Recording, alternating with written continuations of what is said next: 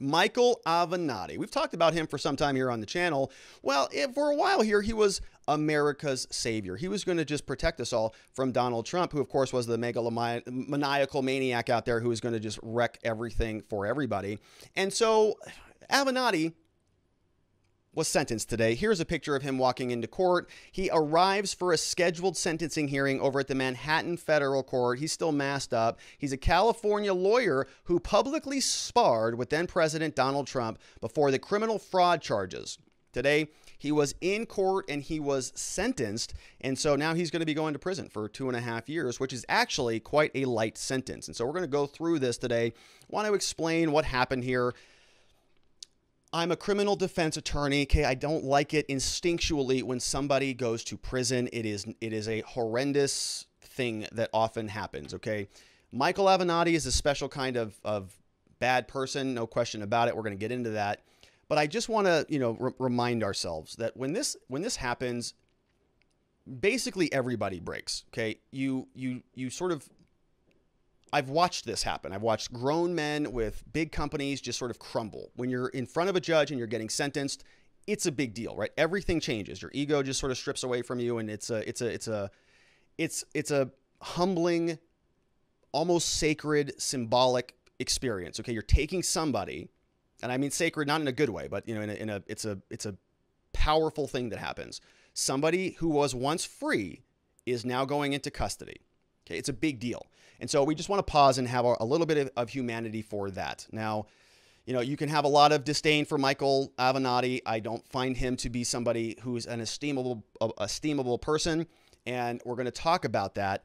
And I also have a little bit of a an increased lack of empathy for him, largely because of the fact that he's an attorney right? And people hold attorneys in a little bit higher regard. And attorneys have a little bit of an unfair advantage. We have some extra training, some schooling, some years in court. And so when you are engaging with non lawyers as a lawyer, it's kind of like, especially when you're talking about legal issues, it's kind of like, you know, uh, wrestling with your younger brother, somebody who's younger than you that you can easily beat, you can easily take advantage of if you know that. And so you you can't do that, right? You, you sort of have to hold yourself to a higher standard to make sure that that doesn't happen. This is the same reason why I get so irritated when cops do bad things because it's like, hey, we give you total power, a total monopoly to do whatever you want. You got a badge and a gun. You went through special training. You've got a total, you know, you got all the money in the world. You have a ton of, of backup anywhere you want. And so you've got special privileges that other people don't. So when you breach the law, when you violate the same law that you were sworn to uphold, I got a huge problem with that. It is sort of a somebody in a position of power dumping all over somebody that doesn't. I don't like bullies and I don't like being in a situation where, you know, people are taking advantage of other people. It drives me bananas. That's why I'm a defense attorney because our US government, our federal state governments do that all day long every day. But Michael Avenatti did it as well. So he has a special level of disdain coming from me. So I, I don't I don't appreciate you know anything that he's done. I don't appreciate his political uh, perspectives or the spectacle that we saw from him. I also don't like you know how the media treated him. But there also is a little bit of humanity left when somebody goes to prison for two and a half years. When somebody goes into custody, it's a thing that happens and people will break. So we got to have a little bit of humanity there as we go through this. Now, that being said, there's a brilliant philosopher who once said, True happiness is seeing your neighbor fall off their roof. Michael Avenatti just fell off the roof. And a lot of people in the media also fell off the roof. Remember this one? He's Donald Trump's worst nightmare. Michael Avenatti. Joining us once again is Michael Avenatti. Let's bring in Michael Avenatti. Michael Avenatti. Michael Avenatti. Michael Avenatti, thank you very much. He's out there saving the country. Don Meacham says he may be the savior of the republic. You are something of a folk hero now. I owe Michael Avenatti an apology. I've been saying enough already, Michael. I've seen you everywhere. What do you have left to say? I was wrong, brother. You have a lot to say. I uh, am just dying to hear what you think. These people all like you. I'm the only person right here Donald Trump fears more than Robert Mueller. We think you guys are the tip of the spear that's going to take down Donald Trump. Michael, Michael right, Avenatti's so a beast. We're gonna we're gonna continue on with this clip, but I forgot to mention Listen to the very last couple seconds of this clip. I've played this clip before, but not in its entirety. We're going to pause, just listen to the last thing that he says. So we're going to go through the clip. He's going to finish, and then we're going to see this splash frame. I think it's from Free Beacon. And then there's one final clip from Mr. Avenatti. Let's listen, see what that is. Okay, that's true. And he- he's a beast. He's a beast. I hand it to her, and I hand it to Michael Avenatti. But he has a great, bigger calling here. That being a lawyer is minimal compared to what he's doing. No one has talked tougher directly to Donald Trump on TV than Michael Avenatti, and Donald Trump is afraid to mention his name. That's fascinating. Donald Trump is terrified of Michael Avenatti. Gives Trump a run for his money more than anybody else, Michael Avenatti. An Existential threat to the Trump presidency. The Democrats could learn something for you. You are messing with Trump a lot more than they are. He has no doubt created sheer panic in Donald Trump's very fragile mind. Michael Avenatti is laying down the law as guest co-host. And is he really thinking about running for president? Uh, One reason why I'm taking you seriously as a contender is because of your presence on cable news. You look at the field of Democrats right now, and Avenatti's the one who stands out. If they decide they value a fighter most, Yes. people would be foolish to underestimate Michael Avenatti. I have always said that they need a fighter. Look, I mean, we're going to continue to use the media. I think we've used it with great success. Wait for it. Here it comes. Here it comes. All of my sexual fantasies involve handcuffs. Oh,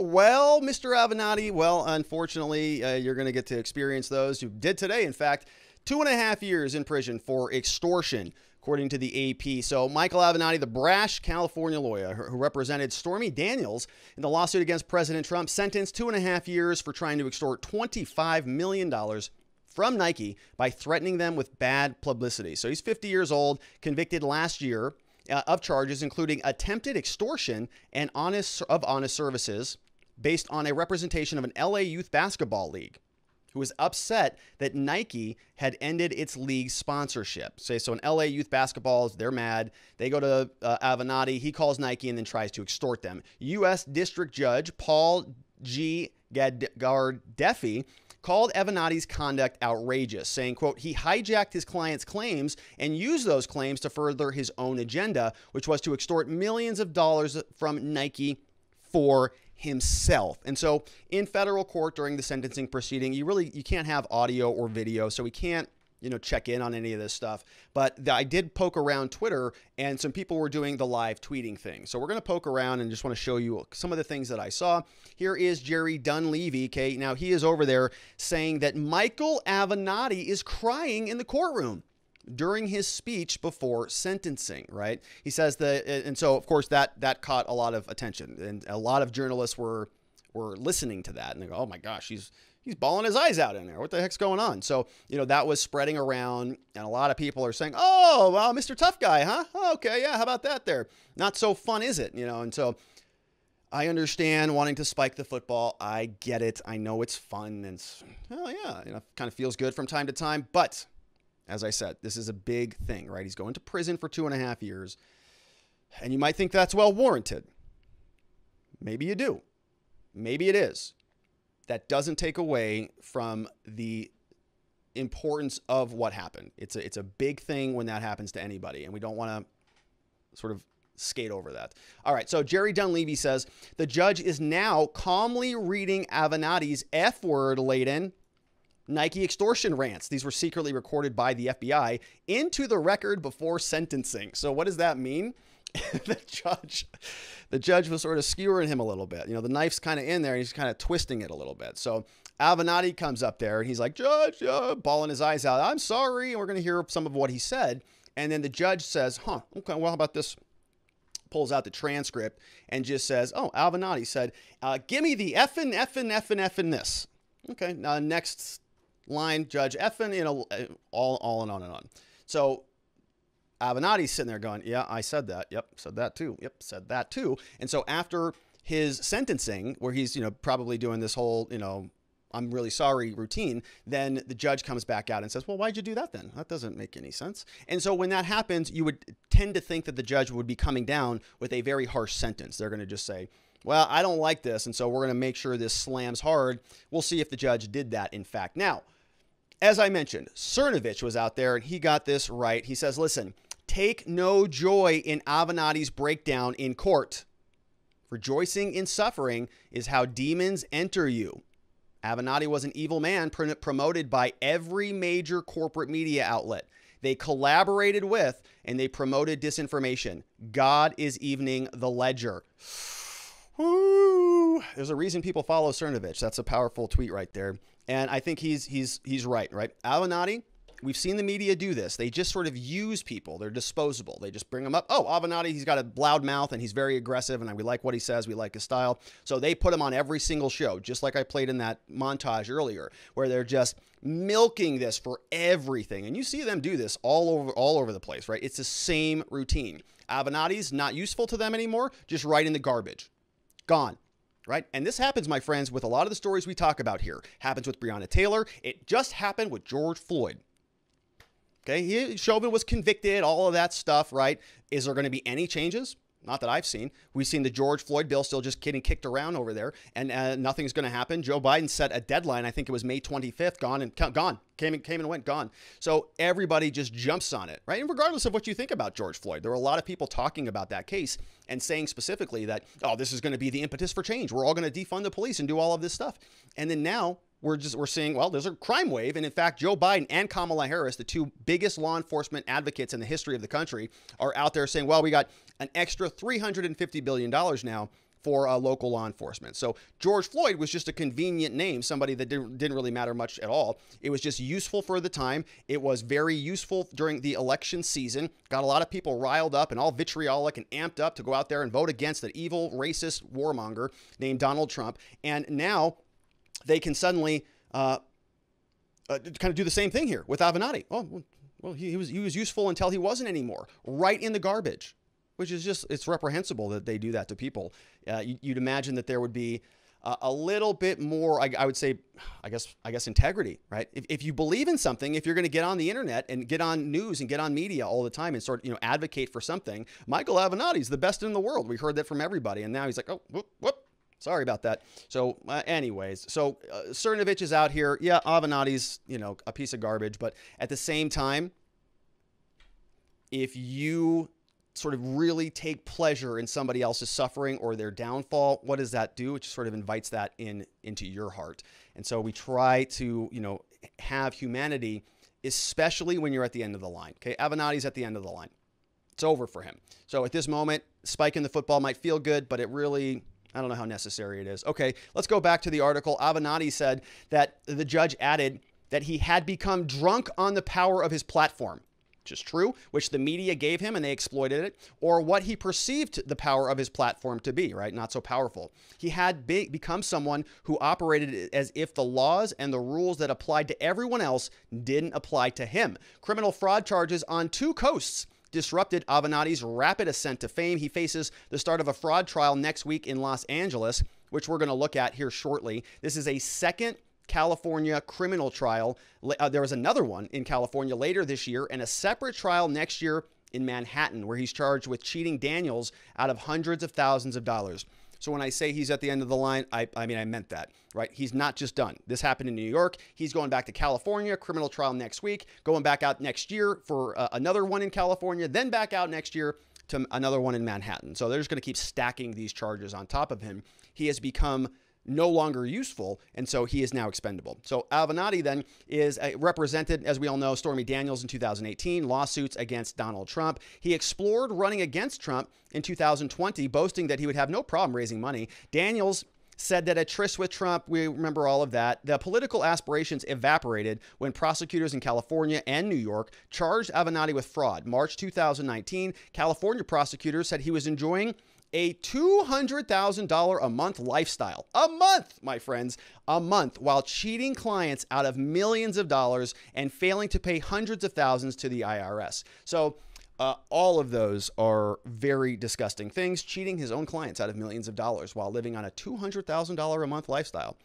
That's a lot of money every month. Wow. So, yeah, that's a lot. Wow. What do you get for that?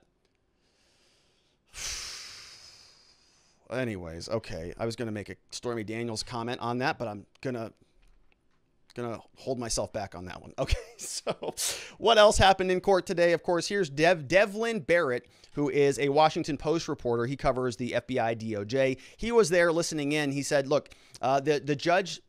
Uh, here's what Avenatti said. So, of course, we can't get recordings of this, but this is what he says that Avenatti said. He said, TV and Twitter, Your Honor, mean nothing.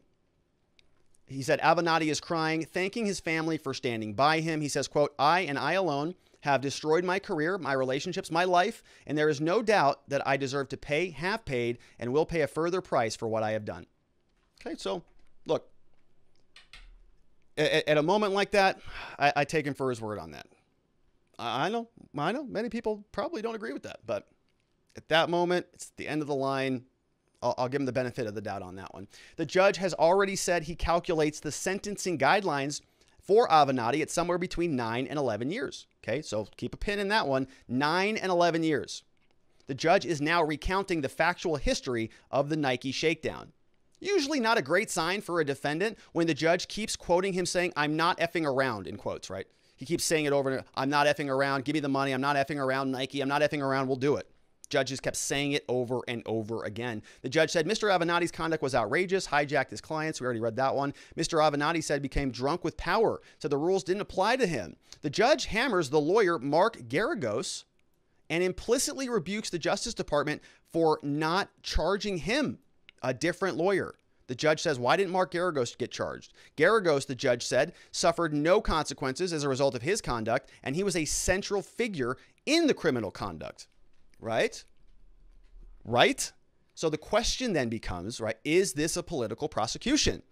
Why is Avenatti getting prosecuted but not Mark Geragos? Judge wants to know. I think it's a good question, right? I don't support political prosecutions either way. Avenatti, not a good not a good man at all a terrible lawyer does damage to the to the reputation of the entire industry and any lawyer that does that should be reprimanded and scolded and run right out of the, the profession in my opinion and still does not deserve a political prosecution because I keep saying this. When that happens, the pendulum swings the other way. If you're going to be doing cartwheels because Avenatti got politically prosecuted, well, they're doing it right now to all the Capitol Hill defendants, and the pendulum swings the other way, as we say here. Wow, says Devlin Barrett. He says the judge drastically departs downwardly and gives Avenatti three years in prison on this case, saying it's not justice for Mr. Avenatti to be sentenced to 9 to 11 years when Mr. Geragos was not even charged. Huh. So the judge is saying your compatriot over there didn't get charged, so I can't give you 9 to 11 when he gets zero. So what I'm going to do is I'm going to reduce yours down to two and a half. Down from nine years. So maybe you might say, well, maybe if this is a political prosecution, he got kind of a hell of a deal, didn't he? Nine years down to, or up to 11, down to two and a half. That's a smoking deal. I wonder if some of the Capitol Hill people would get that same benefit in a situation like this, or what if would a Trumper get the same benefit? Okay, we know Michael Flynn sat in custody for a long time. Devlin Barrett, a potential nine year prison sentence for Avenatti was reduced to 2.5, the kind of sentencing break usually reserved for those who flip and provide evidence. The judge was greatly displeased that Geragos walked away from the case scot free big, big departure, major break. And there's another attorney here on Twitter who also is sort of concurring with that. Adriana Lawrence says prosecutors asked the court to give Avenatti eight years or nine to 11. So a sentence of 30 months is rather light handed, particularly given that he's an attorney and was convicted of extortion, wire fraud, and a related offense. And so the reason I clipped that, right? is to just hammer that point home. If you're an attorney, if you're somebody in a position of power, you take a, an extra oath to get sworn in. And you've got a big problem if you commit a crime that is a dishonest crime. It is something that is looked upon more disfavorably because now we're questioning your morality, right? If you are somebody that gets a DUI, you're a lawyer, you get a DUI, okay, well, maybe you're an alcoholic, right? Maybe you're somebody that just has an addiction problem. Maybe this was just a mistake. But if you're actually extorting somebody and you're wire frauding stuff and you're trying to sort of, in a dishonest manner, take things from other people, that's a crime of, of, of uh, dishonesty, which is very problematic because people need to trust you because you're a lawyer. You have you have outsized power over their estates, for example, or th- their, the custody of their kids, or in our case, their freedoms, whether they go to prison or not. So if they entrust us with that, it is a sacred thing that we have to protect to the end of the earth. And, and Michael Avenatti didn't. People trusted him, and he just extorted them and committed wire fraud. So, uh, you know, three years for that, it does feel light. Now, to be fair, Adriana Lawrence says, well, but his legal issues are far from over. He still faces a host of tax and bank charges in California. Trial set to begin next week in federal court. And next year, Avenatti returns to New York for another federal trial on charges that he embezzled money from Stormy Daniels, right? So this guy is going to be bounced around the system for some period of time. And, you know, he's, he's, not somebody undeserving of that. So I want to show you quickly. We've got three more slides in this segment from uh, the case against Michael Avenatti that is still taking place in California. So, you know, uh, he, he's presumably getting ready to pack up and head over here because trial starts on July 13th. Unless there's any additional continuances, Avenatti is scheduled for trial, like literally next week. So let's take a look at the government's trial memorandum. I want to show you this fairly briefly. This was filed July 7th, 25 pages. We're not going to go through the entirety of it. This is the government's trial memorandum. Okay, so it's a memorandum on counts 1 to 10. They're noting here that the trial starts July 13th, 8 a.m., courtroom of James Selna, Honorable James Selna, United States versus Michael John Avenatti in the Central District of California. So this is taking place over there. And what they're saying is they're, they're giving us a trial memorandum. And a, and a memo is just sort of an. Uh, that's a memo, right? It's a memorandum. It is a, a, sort of a briefing about what's taking place in the trial. The judge doesn't really know what's going on. The judge says, okay, prosecutors, I need you to tell us about what happened here. What are the facts? What do you intend to prove? Do you have any problems that we need to address? Did they not disclose anything? Are you missing anything? Who are your witnesses? How much time do you need? Who you call in and who you might call, whatever. All the mechanics all the technicalities. We spent a lot of time on this channel talking about that during the Derek Chauvin trial. All the motions in limine. What can the officer say and not say? And so, kind of the list goes on and on. Now, the the government in this memo is saying, "Here, judge, this is what we've got for you, and let's take a look at the table of contents and see what's inside." So they tell us first and foremost, we got an introduction, which we just saw. They define the embezzlement counts and then we'll note that they have a statement of facts for four different victims. We have Michelle Phan, we have Gregory Barela, we have Alexis Gardner, and we have Jeffrey Johnson. So they're saying that not only did he embezzle funds, he did it from four people. Okay, four different times, four different occasions. They go through the elements of the offense, they go through the legal and evidentiary issues. So they talk about whether there were you know admissions made that were authorized or, or uh, made by agencies, whether the government has identified for the defense business business records that it intends to introduce at trial. So this is an evidentiary issue.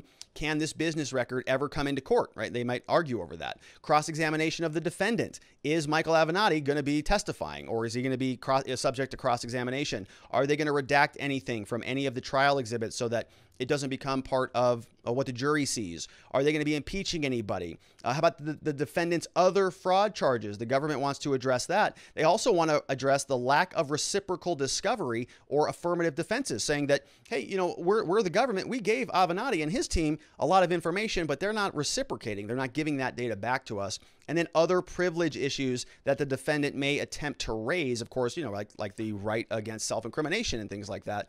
Maybe they're going to want to address that. So it's a 25-page memo, and they go through and they just sort of lay all of that out there. We're not going to go through the entirety for the sake of time. But of course, I want to show you just a, a, a snippet from the introduction and then the statement of facts so you can see what kind of conduct they're alleging occurred here. The memorandum of points and authorities, we have the introduction. So the jury trial on the severed client embezzlement counts, which means that they're just going forward on just the embezzlement counts. So there must be other charges.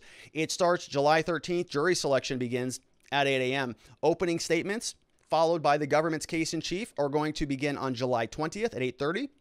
The government says they need 3 weeks for its case, including jury selection. The government is going to call 30 witnesses. The defendant is currently on temporary release pending trial, but probably not anymore probably now in custody because he has been sentenced. And uh, they take you into custody at that time. So now let's take a look at the facts. Trial's coming up. Jury selection is going to start. Oh, uh, the case in chief starts July 20th. So maybe we'll continue to follow this. We'll see what is going on in the case, though. Let's see what's happening here. So, the statement of facts the evidence at trial will prove the following, according to the government. This is what we're going to show, they say. Between January 15, January 2015 and March 2019, so about four years, defendant was licensed in California. He defrauded five people. We talked about them Jeffrey, Alexis, Gregory, Michelle, Long. And he stole almost $10 million in settlement funds that belonged to them. How did he do it? Well, it was pretty simple. First, he would negotiate on behalf of a client a settlement that would require the payment of the funds to the client. Then he would misrepresent, conceal, falsely describe to the client the true terms of the settlement or the disposition of the proceeds.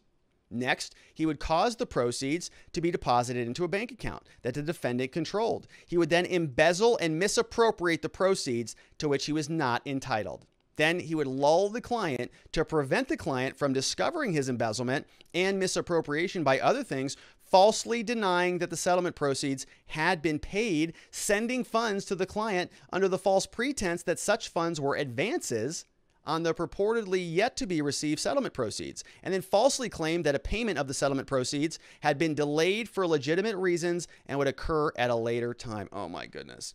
This guy is just the worst. So, what he's doing is. Let's say he rep- he sues somebody, okay? So he's a Stormy Daniels attorney, right? He represents her and he sues Donald Trump and they settle the case. I think Trump paid $150 $150,000 to settle that claim. So eh, eh, he didn't do this with Stormy, but he did it with four other people in California. So he goes and he's negotiating with the Trump organization. Okay, well, we're going to settle it. Well, we want a quarter million. Nope, we'll give you 75. They settle on 150. So then Avenatti goes back to his client and says, Great news. We got a, an amazing settlement. You're going to be getting $100,000. Client goes, Well, that's great. You, you think that's as good as we can do? Well, you know, I, I've been working hard. They wanted to give us 75, but I bumped it up to 100. And so now I think we're good. We should take this deal. Client goes, That's great. You're a great lawyer. Uh, Brian Stelter loves you. Wow, this is amazing. And then Avenatti slowly, you know, through this uh, disbursement and advancing and all of that stuff is sort of irrelevant. He's sending money over there and, you know, they start cashing these checks and then they start poking around and saying, Yeah, but, uh, huh I, it, I, it might might be us, but I think you settled that for 150,000 and you only gave us 100. So what happened to the remaining 50? Huh. And Avenatti's, well, no, and he's moving money around and advancing them some other things. And we didn't get it yet, and we didn't do this and all this stuff. Meanwhile, he's living on a $200,000 a month lifestyle. Where's that money going? Somebody found out about it, and now he is getting uh, charged with new crimes in California. Probably going to be convicted on those as well. Not a good thing. I know a lot of attorneys that are very, very sloppy with their money and they sort, you know, it's not good and it's very dishonest. And so that should be addressed as it will be. Okay, great stuff. Let's take a look at over over at the uh, uh, chat at watchingthewatchers.locals.com. Let's see if we've got any questions in the house. We got a good one here from Jack Elias says, uh, Robert, Everyone is, cap- is, take- is capable of taking advantage of their specialization to extort or swindle someone else. In my opinion, if a jury of peers is possible, then the sentencing for all persons must be equal without regard to occupation, race, sex, color, ethnicity, religion, disability, veteran status, or we are not a nation of peers. We are a caste nation where status may be legislated into segregated treatment under the law by category. Yeah, very interesting question. So, you know, this is a this is a very good debate, Jack Elias, and I think that this is an astute point that you're making. Right, this is something that we've been talking about in criminal law for all for for forever, essentially. Do you standardize justice, or do you make it responsive to the defendant in front of you? There are pros and cons of both. If you make it standardized, then everybody gets the same penalty. The problem with that is that there are oftentimes I would say most of the time, exceptions to the rule. Okay, and and quite frankly, our legislature uh, legislators, the people who write the criminal laws, are morons. Actually, so they don't really know what they're doing, and they will write these laws in different ways that have all these exceptions and all sorts of things. And so we get clients, and they come in and they say, "Well, the mandatory sentence is this," and we say, "I know it is, but that's not appropriate, and here's why." Mother, two kids, gonna be deported, or whatever, right? The whole thing turns into a big thing. And and if you did impose that mandatory sentence that is equal to everybody, it really would not feel just for that one person. And believe me when I tell you this, this is very common. And we have a lot of lunatic uh, elected officials out there that the only thing they want to do every year is just make the criminal law harsher. That's it. That's the only thing. Tough on crime. I'm a sheriff, whatever. And that's the only thing that they do. And so if you have just sort of a, a an equal penalty across the board, no matter what, then you're going to get a lot of people overly punished that probably shouldn't be. The opposite of that, of course, on the other end of the spectrum, is that you don't have mandatory sentencing. You don't have these three strikes rules. You don't have what Joe Biden did, where if you get a first offense crack cocaine violation, it's five years prison, right? You get that's what happens when that happens. I don't care what color you are. I don't care. Crack's a problem. Five years. Everybody goes, yeah, great. Violence. We don't like drug violence. Okay. And so now you've got you know, a lot of people whose lives are ruined over that thing. And that's mandatory sentencing. Everybody gets that. So it can be a big problem. On the other side, though, then you have sort of a responsive type of sentencing where every defendant comes through. You, you, you, you ideally want to say, well, we're going to give this person a fair shake. Rob Gruler's here, and here's what he's being charged with, and here's what he does, and here's why maybe we should work the penalty down. And the government comes and says, maybe this is why we should work the penalty up, and we're going to make it responsive to the unique individual. Well, what does that mean? Well, that op- opens up a lot of room for variables to come into play and and some subjective interpretation of the events. And so one judge might look at me sitting there as a defendant, oh, please show me mercy, saying, You're right. I appreciate you, Rob. I appreciate this and I appreciate this. And thank you. You've shown yourself to be remorseful and we're going to give you a low penalty. And another judge might say, oh, no, that's you're, you're the worst. And what I saw from you and what I heard from you doesn't resonate with me. And therefore, I'm going to give you the maximum penalty.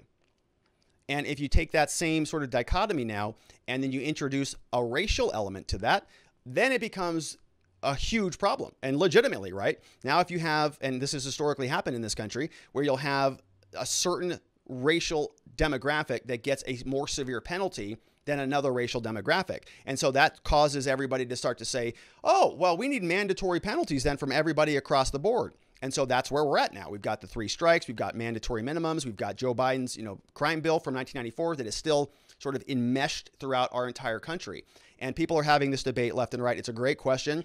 I don't know that we're going to get an answer to it because there are there are problems with both both approaches. Great question though. Let's see what else we have here. We've got a couple other ones. ZZ's in the house. Joe Snow's here. We've got Jack Elias here. Let's see if we've got any other questions. Oh, that one Florida man is here. Good to see you. That one Florida man says everyone should check out a YouTube of Joe Rogan and Alex Jones. Out of context edits are hilarious. So that's funny. Um, so Joe Rogan I just saw was over on Oh, no, I just read an article that the Spotify people are very angry with Joe Rogan. Norovirus here says, hmm, Jack Elias says, no mercy for Robert. He will be face palmed with a cream pie. Looking forward to that. That's going to be fun. We have Be Brave says it stops. Okay, so great questions. All of those over from watchingthewatchers.locals.com. Looking forward to that cream pie, cream pie, Jack Elia. That's going to be fun. Now, if you hit somebody in the face with a cream pie, and they don't want to be hit in the face with a cream pie, that is probably going to be an assault charge. And so if you happen to know somebody like Jack Elia who is cream pieing people in the face, well, you might need some criminal representation. Our law firm, the R&R Law Group, can help with that. Our mission is to provide safety, clarity, and hope to good people facing criminal charges, including the pie throwers. We have a free consultation that is available, and our phone number is 480 787 0394. Also online, rrlawaz.com. You can take a picture of this QR code, and it's going to take you right over to the website where you can schedule online. We have an awesome team of people. We look forward to helping you with any type of criminal charge that you're facing in the state of Arizona. Things like DUIs, drug offenses, misdemeanor, traffic violations, and everything and anything in between. If you don't need any help, I'd invite you to go check out some of my offerings over at gumroad.com slash Robert Gruler. In particular, the law enforcement interaction training, which is available now, $19, and it's two and a half hours. It gives you the one, two, three rule for dealing with law enforcement. It's the one rule you need. It's the two questions that you have to answer, and it's three powerful responses, kind of like a one, two combo that you can send back out towards their way verbally. It's verbal judo, not uh, physical, that might help you uh, escape criminal liability when the government is trying to make you a criminal. So check that out at gumroad.com slash Robert Gruler. All right.